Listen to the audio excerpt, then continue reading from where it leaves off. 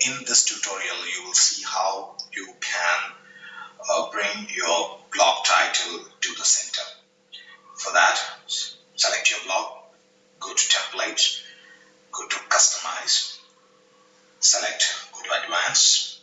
On advanced tab, you have to select add CSS. Now you can see the blog and the preview is in the left side.